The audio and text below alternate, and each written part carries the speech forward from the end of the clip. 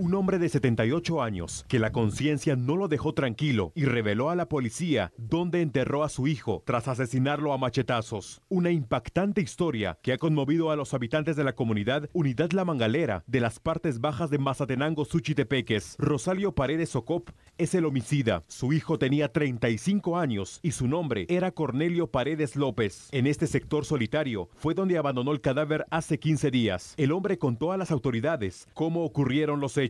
Una discusión con otro de sus hijos desencadenó a la tragedia. Estaban en su vivienda y la víctima notó que su padre intercambiaba duras palabras con uno de sus hermanos. Intervino en la discusión y don Rosalio Paredes tomó un machete y lo atacó salvajemente hasta provocarle la muerte. Él y su hijo con quien mantenía el altercado verbal decidieron envolverlo en una sábana y enterrarlo bajo unos árboles a varios kilómetros de su vivienda. Noé Paredes López de 25 años huyó tras colaborar con su padre. Hasta el momento nadie sabe dónde se encuentra y la policía inició su búsqueda. El hombre de la tercera edad mientras tanto guarda prisión a espera que inicie el proceso en su contra y se determine su culpabilidad en la muerte de uno de sus hijos.